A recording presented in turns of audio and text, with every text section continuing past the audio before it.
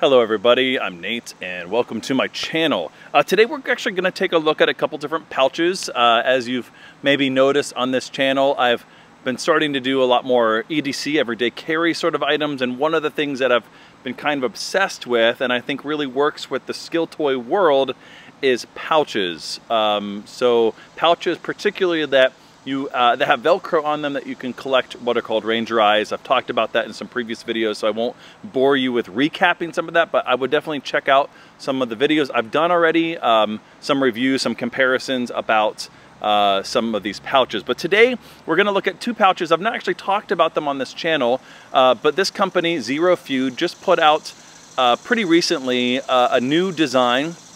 And so they have an older one and a newer one. So I'm actually gonna pair. So we're gonna talk about two of them here. First off, we're gonna talk about their original design. This is the soft wallet. I've owned a couple of these. And then we're also gonna be talking about their uh, latest design, which comes in two different sizes. I have the smallest version. This is called the CUP or CUP, the Compact Utility Pouch. So that's what it stands for. So we're gonna do a little brief comparison of these two uh, and let's get into that.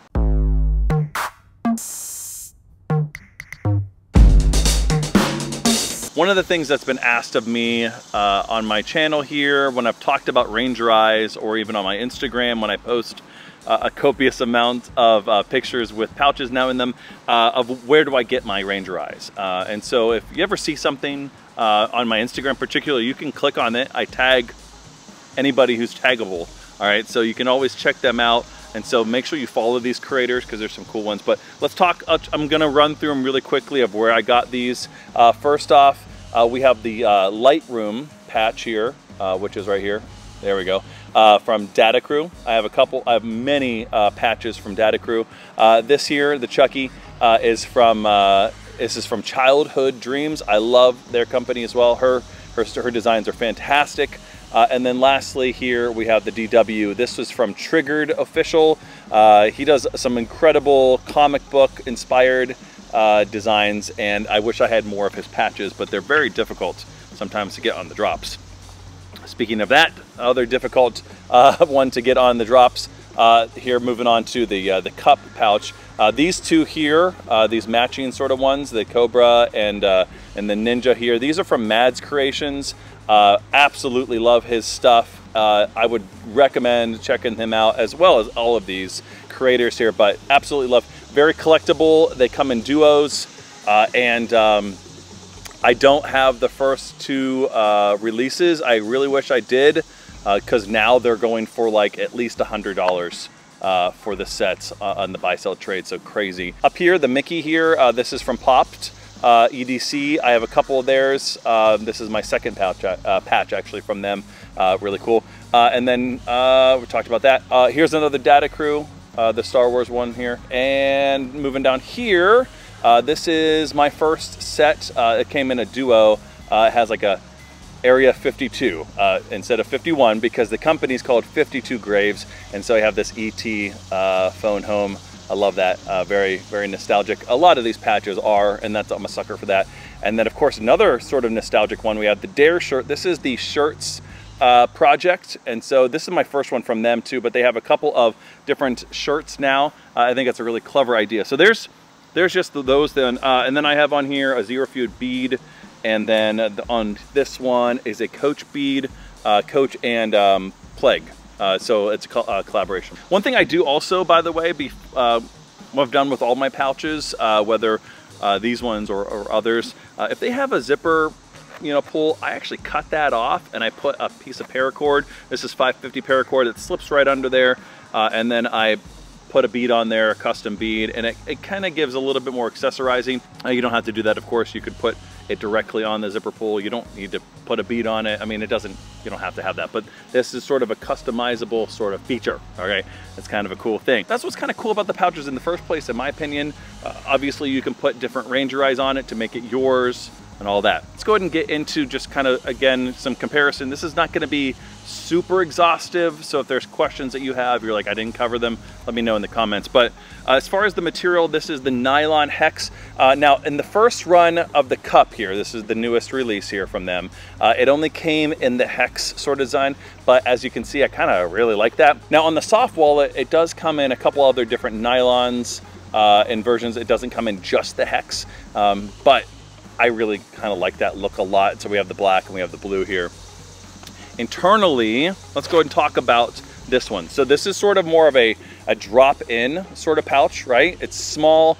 Uh, both of these run at the same size. So they're three by four and a half, okay? So uh, three inches by four and a half inches. Uh, on the CUP, the compact utility pouch. It does come in a larger size as well. I did not get that because uh, I knew in this run I was only going to be buying one at the time and uh, they sold out very, very quickly and I knew I was only, only going to be able to probably get one in the color I wanted. So I went with the smaller one, but the just to know, the larger one uh, is just about one inch bigger in all the diameter, right? In diameter and width.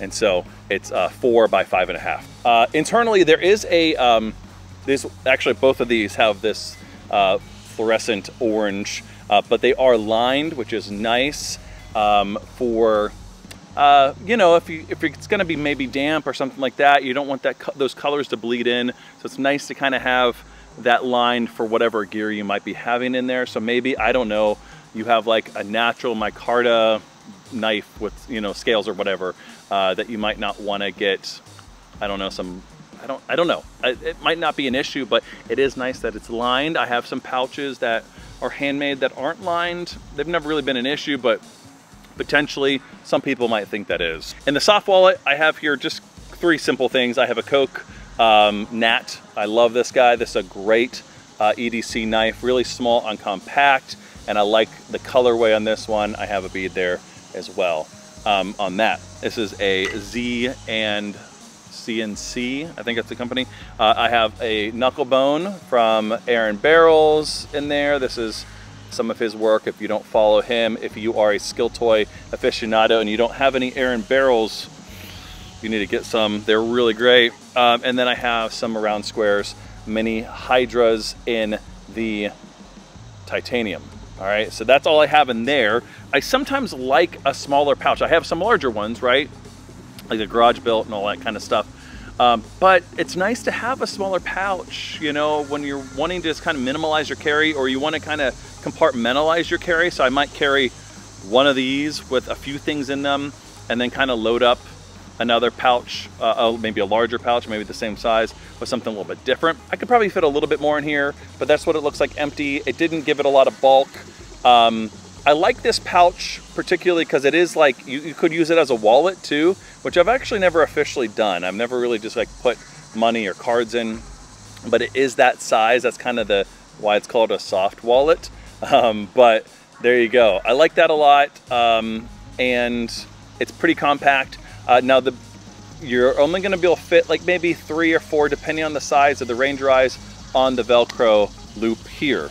The biggest difference here on the front is that this is a full loop, right? So if you are um, nerding out about Ranger Eyes like myself, you may gravitate to something like this because you can fit more Ranger Eyes on it.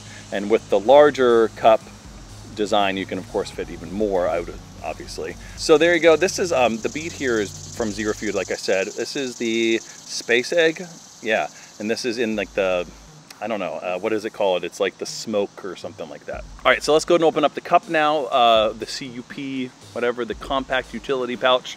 And uh, again, this is the smaller version of it. Uh, it opens up like a bifold. Uh, actually, before we do that, uh, on the back, I haven't actually utilized the full like little slip here, but it does have a slip if you wanted to maybe put something smaller in there, like maybe even like band-aids or, or stickers or, you know, because a lot of these patches come with like slaps or stickers and you can throw them in there maybe, I don't know. Uh, or you could probably even slide a very thin knife maybe there or or cards or cash or whatever. It does have a little hook up here. So if you wanted to put like maybe a lanyard or, or, or some kind of something there, uh, you could do that and clip that onto you know, maybe your belt loop or, or on a bag or something like that. So again, I haven't utilized that quite yet, but let's go and open it up. Opens like a bifold, right? So right away, you can probably predict that it can probably hold a little bit more. Uh, now it's gonna be thicker because it's got two-sided, right? So now in here, uh, I have a Bexar uh, knife, which is my go-to, one of my go-to knives for pouch knives because it's very thin, it's a slip joint, uh, it's great. Uh, this is from Tactile uh, Knife Company, fantastic.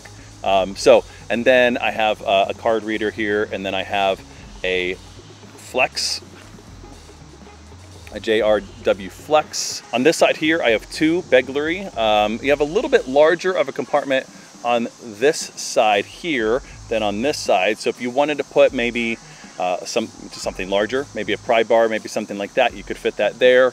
And then something a little bit smaller on this side. But for my sake, because I'm into skill toys and I want to carry them in my pouch, that's what I've included there. So maybe putting a larger bead set of begleri in there. If you wanted to put a second one, you could do that with a smaller set. And that's what I've done. But again, you could see that it's completely up to you, obviously, what you do. I have a check key in the back. It's nice and flat. Uh, let's go and empty it out so you can kind of see the full space here and everything.